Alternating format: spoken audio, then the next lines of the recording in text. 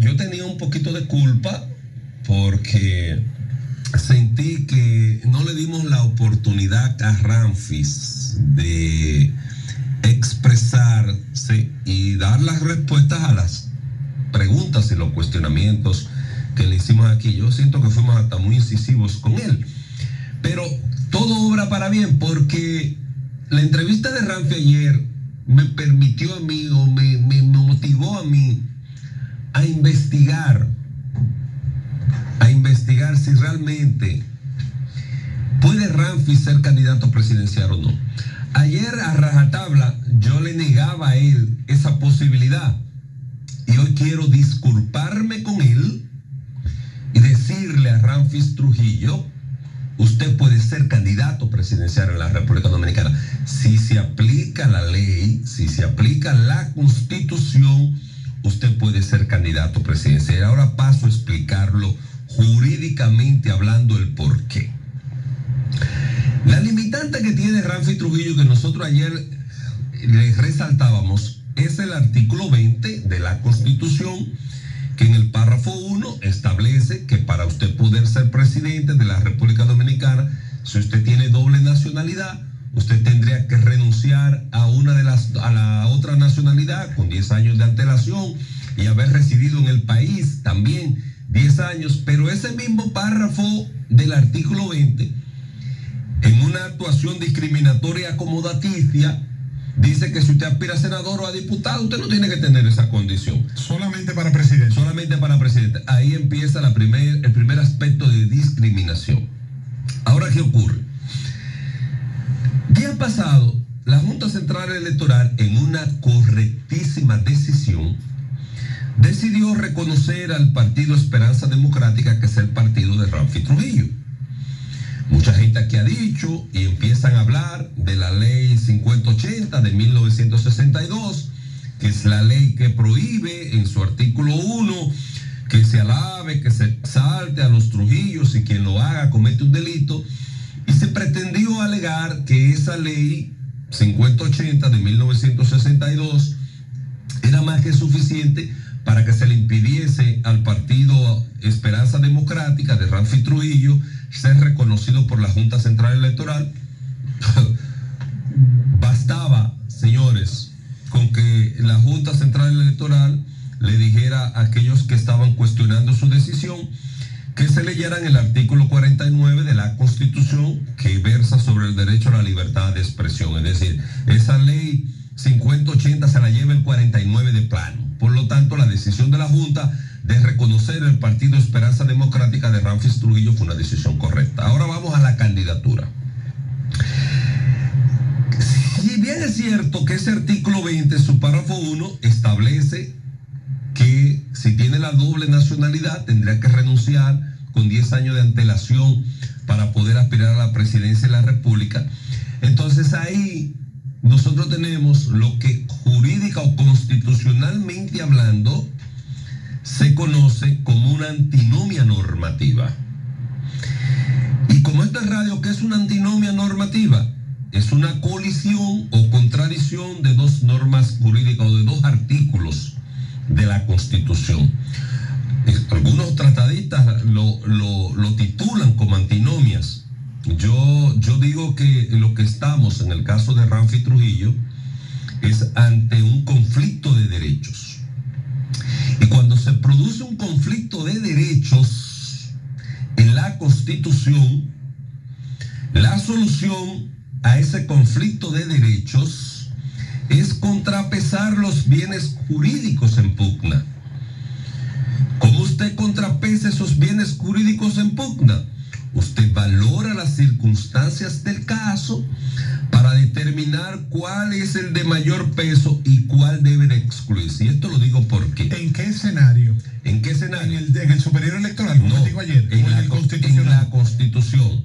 Porque todo lo que tiene que ver con Ramfi va a versar sobre la Constitución. Porque aunque ese artículo 20 te establece eso, cuando tú te vas a un artículo anterior, que es el artículo 18, te dice que son dominicanos y dominicanas los hijos e hijas de madre o padre dominicano los nacidos en el extranjero de padre o madre dominicano, no obstante haber adquirido por el lugar de nacimiento una nacionalidad distinta a la de sus padres. O sea que él es dominicano por el Yusanguis. Por el Yusanguis. Es hijo de dos dominicanos, pero voy más para allá, Luis. hay un precedente. Voy más para allá.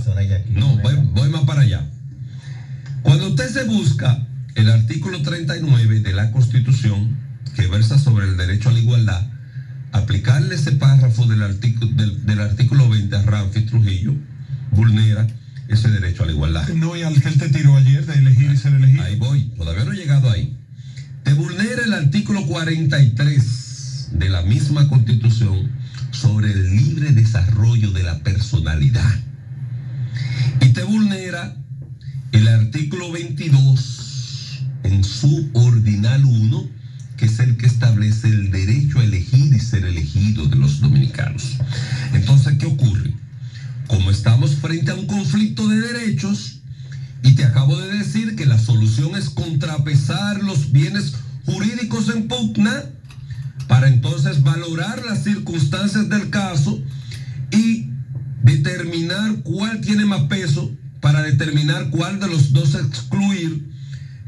entonces, estamos ante un método de decisión que es el que utiliza el Tribunal Constitucional en la República Dominicana. ¿Y cuál es ese método de decisión, Víctor? Se llama la ponderación. Ponderación de derechos. Y eso lo hace el Tribunal, el Tribunal Constitucional. y tiene que hacerlo el Superior Electoral también, cuando el caso llegue donde ellos. ¿Cuál primero? el superior electoral. Él va a ir primero al superior electoral porque obviamente tiene que dejar el constitucional como la, última opción. pero, ayer tú le que en el 2020 él fue al Tribunal Superior Electoral y, y, te voy a hablar de eso ahora. Porque en este caso de Ramfe, señores, nosotros estamos ante una colisión de derechos dramática. Yo quedé ayer, te digo, impactado cuando analizaba este, esto que le estoy diciendo a ustedes. Estamos ante una colisión de derechos sí, dramática, porque donde no hay una guía clara. No, y tú te vas por el hecho aunque tú lo analizas desde el punto de vista jurídico, pero la génesis es que él tuvo que nacer en Estados Unidos porque una ley obligaba a, que los hijos del dictador no podían estar aquí. Ahí voy, por eso te hablo que estamos ante una colisión de derechos dramática. Y, entra, una, una pregunta, Humberto, entra también como, no sé, no, no sabría decirte si como jurisprudencia o como referente más bien, entra como referente lo que acaba de pasar en Guatemala, que el presidente electo de Guatemala hoy, Bernardo Arevalo, en Uruguay porque su papá estaba exiliado. Pero hay, un antecedente también, y es que la Junta aceptó a Soraya Aquino como candidata presidencial y ella también es ciudadana. Claro, pero voy más lejos. En las elecciones. Voy, voy más lejos, voy más lejos. ¿Quién era el presidente del Tribunal Superior Electoral en, la, en el pasado cuatrenio? El hoy presidente de la Junta Central, Electoral.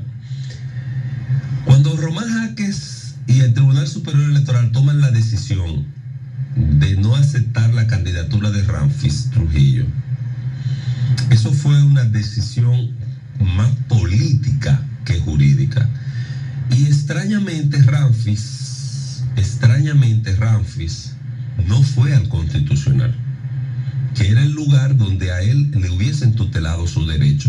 Porque ¿qué es lo que va a hacer el constitucional Luis? Él dijo que fue porque la pandemia y sí, no, no fue. Pero no fue. ¿Qué es lo que va a hacer constitucional, Víctor y Luis? Es sopesar. Sopesar la importancia de esos derechos y tomar una determinación o tomar la determinación que promueva de mayor manera el derecho tutelado. ¿Y cuál es el derecho tutelado del que estamos hablando aquí? Uno, y lo decía ahorita, el derecho a elegir y ser elegido, artículo 22, ordinal 1. Dos, derecho a la igualdad, artículo 39, porque tú prohibírselo a él frente a los demás, hay una discriminación. Y tres, el derecho, el artículo 43, que es el derecho al libre desarrollo de la personalidad. Entonces, Ramfis Trujillo Domínguez, Ramfis Trujillo Domínguez, hijo de Angelita Trujillo o de Angelita como la conocemos, y del señor Luis José Domínguez, nacido en Estados Unidos. Por obligación. Por obligación, porque sus padres fueron desterrados de la República Dominicana. Es tan dominicano como usted y como yo, porque es hijo de dominicanos y nuestra constitución establece que son hijos, que son dominicanos, los hijos no de dos, sino de uno, no de dos. Con uno sería suficiente. Con uno es suficiente por el ius sanguinis y él es hijo de dos dominicanos, pero dos dominicanos que nacieron fuera del país, o dos dominicanos que nacieron aquí, que vivieron aquí, que nacieron aquí, que vivieron aquí y que por una condición particular se vieron en la necesidad de tener que abandonar su país al ser desterrados. Entonces, como la constitución establece que la que la dominicanidad se adquiere a través del ius sanguinis y él es hijo de dos dominicanos, entonces él es tan dominicano como usted y como yo, porque eso es lo que establece el artículo 18 de la Constitución. Por lo tanto, constitucionalmente hablando, estamos estamos ante una dramática colisión de derechos en el que el Tribunal Constitucional o el Tribunal Superior Electoral, si decide aplicar justicia, el Tribunal Superior Electoral, porque yo sé que en el Constitucional va a tener ganancia de causa 100%. El Tribunal Superior Electoral está en la obligación de sopesar y tomar la determinación que promueva de mayor manera el derecho tutelado, porque ante ese conflicto de derechos, la solución que debe, que debe primar es la de contrapesar los bienes jurídicos en pugna.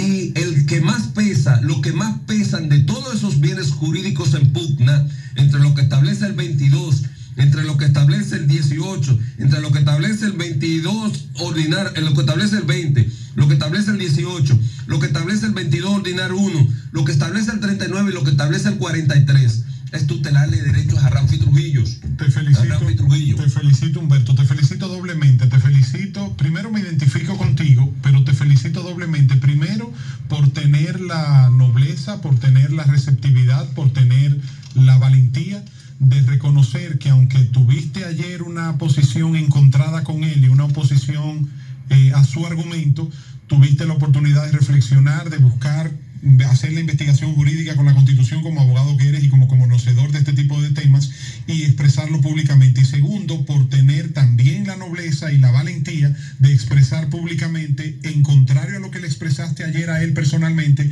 el argumento jurídico que sustenta claro. lo que es su, su inquietud. Claro, él puede ser candidato presidencial y el Tribunal Superior Electoral está en la obligación de garantizarle a él ser candidato. Y si no lo hace, señor Trujillo, Usted tiene ahí el Tribunal Constitucional, que yo sí sé, yo estoy convencido que el Tribunal Constitucional le va a tutelar esos derechos a usted y va a resolver esos, ese conflicto de derechos en pugna, dándole ganancia de causa al más fuerte de todos ellos, que es el derecho que tiene usted.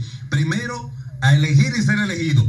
Segundo, a que se les reconozca su dominicanidad. Y tercero, a que no les sean vulnerados ni su derecho a la igualdad, ni su derecho al libre desarrollo de la personalidad.